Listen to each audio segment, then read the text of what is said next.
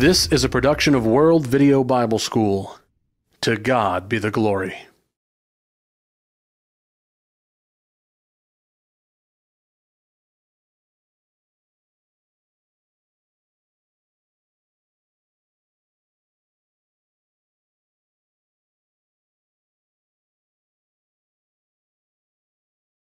In this study of Spotlight on the Word, we're going to examine the marvelous book of Psalms.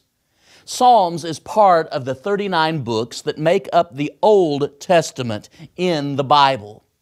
There are 27 other books called the New Testament that tell us about the life of Jesus and how He's going to come back and how we need to be ready to be with Him forever. After all, the Bible is a book from God. And it's a book telling us how we can have a relationship with God forever if we will come to Him in loving obedience through Jesus Christ. Jesus has become the author of eternal salvation to all that obey Him. Hebrews 5, verses 8 and 9. And what the 39 books of the Old Testament beautifully do is indicate that Jesus is coming. When you look at the book of Psalms, it is part of a five book section called poetry. Poetry. There's first the book of Job. Job deals with some, very profound matters. Job deals with the issue of pain and suffering. Pain and suffering. When you stop and think about that, Job, though part of a classification called poetry in the Old Testament, was a very real character. So says James 5 and verse 11, Ezekiel 14, verse 14 and verse 20, 1 Corinthians 3 19, as well as Romans 11 and verse 35. So Job was a historical individual. The events that happened to him were true, although they are recorded as poetry. Then we come to the book of Psalms. Psalms also deals with a powerful issue, a great matter in life. It deals with worship and praise. Worship and praise. And even though Psalms follows the book of Job, the two are related in a number of ways because Psalms often touches on the problem of pain and suffering. In Psalm 119 and verse 67, the psalmist declared, Before I was afflicted, I went astray, but now I have kept your word. In Psalm 119 and verse 71, the psalmist again declares, It was good for me to have been afflicted, that I might learn your statutes. So there we have Job dealing with pain and suffering, Psalms dealing with worship and praise, and then we come to Proverbs, the third book in the class called Poetry in the Old Testament. And Proverbs deals with wisdom and understanding, what true wisdom is, what true understanding is all about. And then the book of Ecclesiastes. The book of Ecclesiastes deals with meaning and the highest good. Ecclesiastes deals with a super achiever who was super disappointed as he looked for purpose and meaning and fulfillment in life apart from God. And then one comes to the book of Song of Solomon. Song of Solomon deals with the matter, a great matter in life, of love and marriage. Love and marriage. So put these together, and God chose through poetry to convey some great information about very profound things in life pain and suffering, worship and praise, wisdom and understanding, purpose and the highest good, and love and marriage. When you look at the book of Psalms, it is unique in many ways. For one reason, it is the longest book in all of the Bible. It consists of some 150 chapters, so it is a lengthy book. But another reason is this it was written by a number of authors, human penmen. We typically think of David as the author of the book of Psalms. He is the sweet singer of Israel, 2 Samuel 23 and verse 1. He is one through whom the Spirit spoke, 2 Samuel 23 and verse 2. And while it's true that David did compose a number of the Psalms, about half of them roughly, he is not the author of all the book of Psalms. There are a number of authors of the book of Psalms, including Moses.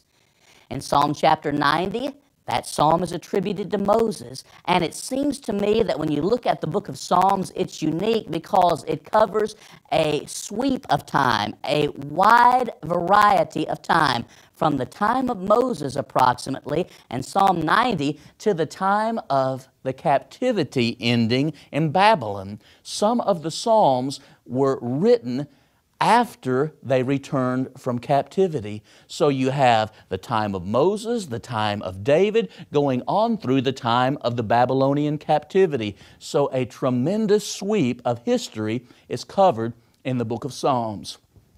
But as we think about the book of Psalms, it also, by way of, of information, contains the longest chapter in all of the Bible, Psalm 119. Psalm 119 extols the greatness of God's Word in virtually every verse. 176 verses are found just in that chapter alone. Psalm 119, all telling us about the greatness of God's holy Word. If that was the attitude that the people of the Old Testament were to have toward Scripture, what should we have toward the better covenant, the New Testament, that tells us about Jesus coming and that He's coming again? Hebrews chapter 8 and verse 6. It's interesting to notice that the book of Psalms also contains the shortest chapter in all of the Bible Psalm 117. Psalm 117 consists of only two verses and it tells us why everyone should praise God. And really, when you think about those two verses, those two chapters rather, they tell us the heart of the book of Psalms. Everyone should praise God and lift Him up in obedience and love for His holy word. When you look at the book of Psalms, the key word is praises. Praises. And that is what the word Psalms literally means praises. That's the key word. And again, it deals with worship and praise to God. Well, how are we going to consider 150 chapters in one session? What I'd like to do is show you what a godly person looks like according to the book of Psalms seven traits of a truly godly person. And as we consider this, in the first place, by looking at the book of Psalms and then looking at other pertinent passages elsewhere, a truly godly person, according to the book of Psalms, is a person who praises God often. A person who praises God often. If you would just consider some of the key verses in the book of Psalms, in my judgment, that will help you understand this point. O Lord, our Lord, how excellent is your name in all the earth. Psalm 8 and verse 1. The heavens declare the glory of God, the firmament shows His handiwork. Psalm 19 and verse 1. As we look at the book of Psalms, it is a book in which the spectrum of emotion is covered in praising God that He deserves our praise. Worship the Lord in the beauty of holiness. Give Him the glory due His name. Psalm 29 and the verse is 2. Praising God. For the Lord is good his mercy is everlasting, and His truth endures to all generations. Psalm 100 concludes. God is to be praised. Great is the Lord, and greatly to be praised. Psalm 145 and verse 3. Here's something to think about. What we prize, we praise. If we really love some material object, If we really love, truly love some individual, we can't help but praise them much and often. This point should be particularly applied to the God who is our Creator, our Sustainer, and our Redeemer, the God who has sent Jesus for us.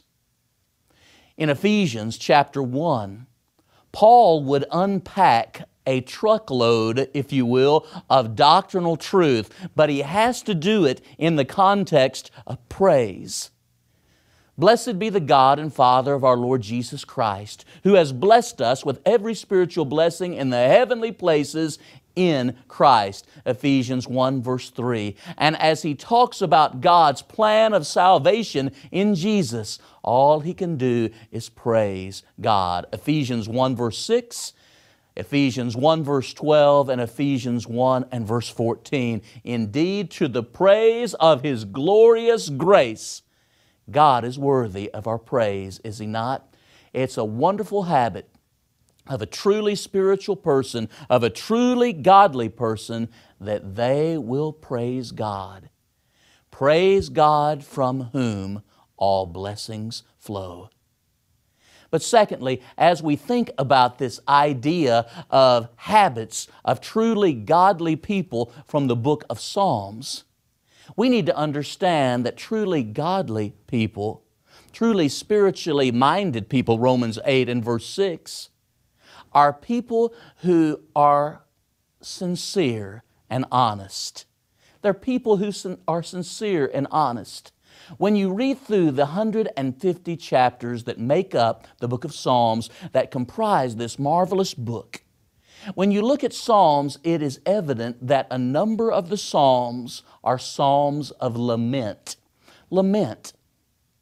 And by that I mean the psalmist is lamenting the circumstances, the plight in which he finds himself, and is pleading, is crying out to God for help. The creation cries out to the Creator who cares for assistance and compassion. There's a place for this because life is not always lived on the highest, most happy, joyful of planes. There are times one gets discouraged, and there are times of lament that come into all of our lives. A good example of this in the book of Psalms is Psalm chapter 42 and 43 three times in those two Psalms that really go together, Psalm 42 and 43, the psalmist declares, Why are you cast down, O my soul? Why are you discouraged? Why do you feel uh, disquieted or distraught or maybe even depressed? Well, I tell you what, in this world, we will have tribulation, Jesus said. John 16 and verse 33. But our tribulation can be turned into joy, he also added. John 16 and verse 20.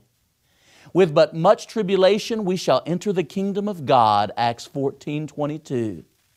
Weeping may endure for the night, but joy comes in the morning, Psalm 30 and verse 5. There are times to weep. There are times to lament. Ecclesiastes chapter 3 and verses 1 through 11. All who live godly in Christ Jesus shall suffer persecution. 2 Timothy 3:12. We all will undergo manifold, varied trials. 1 Peter chapter 1, verses 6 through 9. But how we need to remember the manifold, the varied, the multifaceted grace of God. 1 Peter 4, verses 10 and 11. And this grace sees us through. But we need to be honest and sincere with God as it concerns our feelings, as we cry out in desperation, as we need help. After all, we cannot hide things from the God that we serve. He is a God who knows all. Acts 1, verse 24, 1 John 3, and verse 20. He knows all things. Psalm 139, verses 1 through 10 as we keep thinking about this idea, habits of truly godly people from the book of Psalms, we've noted that they are people who are, first of all, God praising. We've noticed also that secondly that these are people truly godly people they're people who are sincere and honest with their feelings and they look to god in good times and in bad but third when we talk about truly godly people both in the book of psalms and in the new testament we need to remember this truly godly people remember truly godly people have a good memory for God and for what He has done in their lives. Psalms deals with this concept often, the importance of remembering. For example, Psalm 78 is sort of a history lesson.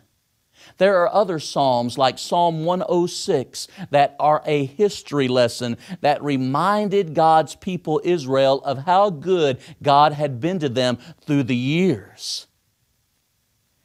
So when we think about being godly, we also need to consider the importance of remembering that God has blessed us in our lives.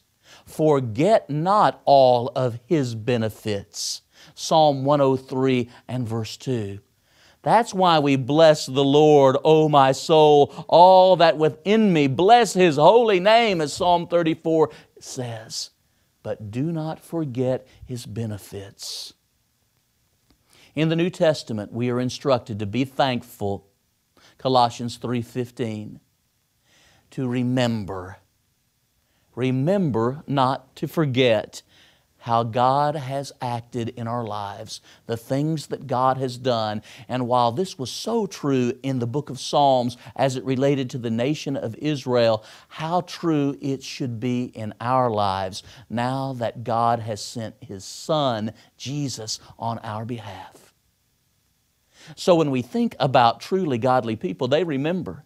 They remember and they are stirred up in their minds by way of appropriate remembrance to be holding on to the truth. 2 Peter chapter 1 verses 12 through 15. Here's a fourth trait of truly godly people people that we will see in the book of Psalms and throughout the entire Bible for that matter. But this is brought out in the book of Psalms so powerfully. Truly godly people love God's Word and properly obey it true godly people, people that truly would serve Him, they love His Word and they properly obey its teachings.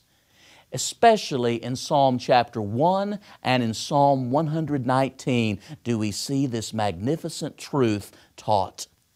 At the very beginning of the book, a contrast is drawn between the godly and the ungodly, and the godly man is known for the fact that in God's law he meditates day and night. He delights himself in the law of the Lord. He doesn't sit and stand and walk with those who are going the wrong direction. It's a matter of priorities. And he will be stable because he has his mind, her mind, focused on the things of God and will take great root in him because God is the source of real joy. In his presence is fullness of joy. Psalm 16:11. God is our exceeding joy. Psalm 43 and verse 4. And so when you look at a psalm like the very first psalm, understand, my friends, that truly godly people love the Word of God and properly seek to obey its teaching. In Psalm 119, the longest chapter of the Bible, again it extols the greatness, the majesty of God's Word. You see, God's Word, Scripture, carries with it all of the force that the very voice of God itself would if God were speaking to us at this very moment in time. In Psalm 119, the Bible talks about your Word. That's the best possession. Your Word have I hid in my heart. That is the best place. Your word have I hid in my heart that I might not sin against you. That's the best purpose, the best possession, the best place, the best purpose, God's Word in the heart, that we might not sin against Him. As you keep looking at Psalm 119, oh, how I love your law. Psalm 119, verses 90, 97 and 98. My heart stands in awe of your word. Psalm 119, verse 161. And consider yet again, your word is a lamp to my feet and a light unto my pathway. Psalm 119, verse 105. As we consider the book of Psalms, it encourages people who truly would be godly to love God's Word and to properly apply God's commandments to their lives, to be doers of the Word and not hearers only. James 1 and verse 22, to be sanctified in the truth because God's Word is truth. John 17 and verse 17, to let the Word of Christ dwell in us richly in all wisdom. Colossians 3:16. The book of Psalms, just like the other 65 books of Scripture, admonishes us to love God's Word and to properly apply its teaching, to obey God's truth. Buy the truth and sell it not. Proverbs 23 and verse 23. But as we continue looking at these seven traits of truly godly people, here is a fifth trait to consider. And the fifth trait has to do with repentance. Truly godly people will be broken hearted over sin and repent. When you look at the book of Psalms, passages like Psalm chapter 32 and Psalm chapter 51 come to mind. The psalmist comes to God in repentance desiring that God create in him a clean heart, Psalm 51, verses 9 and 10. Because of sin in David's life, in this case with Bathsheba, we read about that in 2 Samuel chapters 11 and 12, his adultery with her, David being guilty of murder and having Uriah slain, the husband of Bathsheba. Have mercy on me, O God Create in me a clean heart. Wash me. David understood that because of sin, he required the most radical of surgery. His heart was broken and in sin and couldn't be repaired. It needed to have a new creation. Create in me a clean heart, O God. That helps us understand a great deal about the necessity of repentance and how that godly sorrow leads to repentance. 2 Corinthians 7 and verse 10. That unless one repents, one will perish. Luke 13, 3 through 5. In Acts 17 and verse 30, these times of ignorance God overlooked, but now He commands all men everywhere to repent, inasmuch as He has appointed a day in which He will judge the world in righteousness through the one that He has ordained. Speaking of Jesus. Truly, godly people are brokenhearted over sin. We don't allow ourselves to become calloused and cold and indifferent towards sin because sin separates men from God. Isaiah 59, verses 1 and 2. Because sin will cause people to be lost. Men have fallen short of the glory of God due to sin. Romans 3 and verse 23. It is only through Christ that our sins can be dealt with as we resolve in repentance. There's a change of mind because of a change of heart that leads to a change of direction or life. When we repent of sin, we hate it. We hate what's gone on in our lives due to that sin, and we look to the Lord through Jesus to remove sin by the blood of the cross. 1 John 1, verses 7 through 9. But here's a sixth trait of truly godly people that can be seen in the book of Psalms. Truly godly people are thankful. They are thankful. Perhaps there's no better illustration of this in the book of Psalms than Psalm 100. Make a joyful noise to the Lord, all you lands. Serve the Lord with gladness. Come before His presence with singing. Know that the Lord is God. It is He that has made us, and not we ourselves. We are His people and the sheep of His pasture.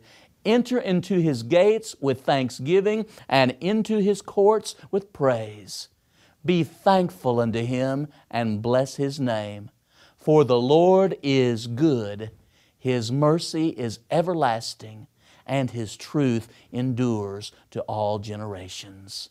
Oh, how important it is to be thankful for God and for all of His blessings. Neither were they thankful. Romans 1.21 was said about a group of people that just got caught up in such sin that eventually God gave them up. As we think about this idea of gratitude. Think of Philippians 4, verses 6 and 7. In nothing be anxious, in nothing worry. There's the prohibition. But in everything, by prayer and supplication with thanksgiving, let your requests be made known to God. And the peace of God, that surpasses all human understanding shall guard your hearts and your thoughts in Christ Jesus. Again, that's Philippians 4, verses 6 and 7. When we think about how wonderful God has been to us through the years, when we think about how He has blessed us so richly in Jesus, there is salvation in Him, 2 Timothy 2.10 when we think about how there's no condemnation in Christ now. Romans 8 and verse 1. When we think about every spiritual blessing in the heavenly places is to be found in Christ, Ephesians 1 verse 3, we should sing hallelujah, praise to God. Oh, there should be great gratitude for the one who loves us so much and blesses us so richly in Jesus. But finally, as we think about some habits of truly godly people that are evidenced in the book of Psalms, the word trust comes to mind. Truly godly people trust God, no matter what. When you think about this, the 23rd Psalm is a marvelous example. The Lord is my shepherd, I shall not want. He makes me to lie down in green pastures. He leads me beside still waters. He restores my soul. He leads me in the path of righteousness for His name's sake. Yes, though I walk through the valley of the shadow of death, I will fear no evil. You are with me. Your rod and your staff, they comfort me. You prepare a table before me in the presence of mine enemies. You anoint my head with oil. My cup overflows. Surely goodness and mercy shall follow me all the days of my life, and I shall dwell in the house of the Lord forever. Trusting God. Without faith, it is impossible to be well pleasing to Him. For he that would come to God must believe that He is, and that He's a rewarder of them who diligently seek after Him. Hebrews 11, verse 6 as we conclude the study of the book of Psalms on Spotlight on the Word. Is that the kind of faith that you have in God? Let's have a true and real and godly faith.